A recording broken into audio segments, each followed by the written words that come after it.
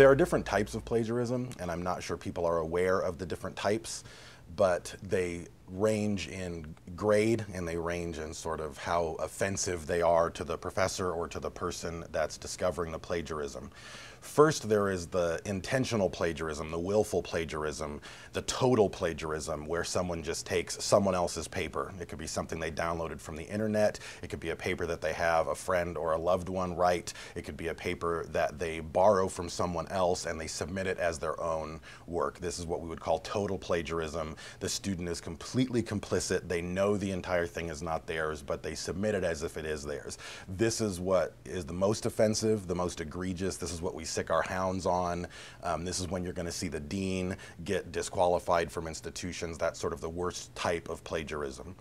There's other plagiarisms in the middle, however, um, that we would sort of consider substantial plagiarism or occasional plagiarism, where someone might, again, willfully take whole passages from an article they found online, from Wikipedia, from a website, from, from a book, from some other source, and they act like this paragraph, this page, was their own ideas. It's not like they downloaded the entire paper. Part of the paper is their own, but they're still selling a bill of goods, right? They're still taking a chunk of the material that is isn't theirs and they're acting like it is theirs. I think the plagiarism that most professors are kind about when they see is accidental plagiarism or what we would call buddy plagiarism.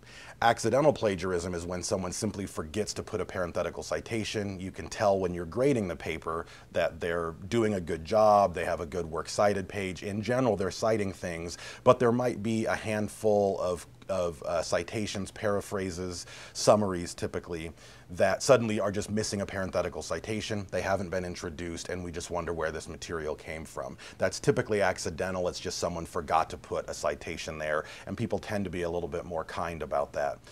Bakersfield College, like every college and university, has a code of academic honesty. Plagiarism violates that code. Teachers have a variety of responses, which include giving a failing grade for that assignment and not allowing a student to make it up. If that assignment is 10, 15, 20, 25% of the course grade, that's going to be a huge hit. The student, even if the student does well on other assignments, may find that he or she can't possibly earn a passing grade in the course. Other teachers can be more lenient. So plagiarism is very serious. Even the lenient teachers who give students another chance, this is not going to help the student if the student won't help himself or herself actually learn how to write his or her own papers. Why do we care if you cheat? Why do we care what was a group project? Well, we care because it goes to integrity. And in the discipline of nursing, integrity is what our patients expect. If you've ever been in the hospital or you've been to the doctor, you expect your doctor is going to be honest, that they're going to tell you the truth. And all of those um, characteristics tie into integrity. And what we like to see in students coming to us is that you come with a sense of what it means to have integrity.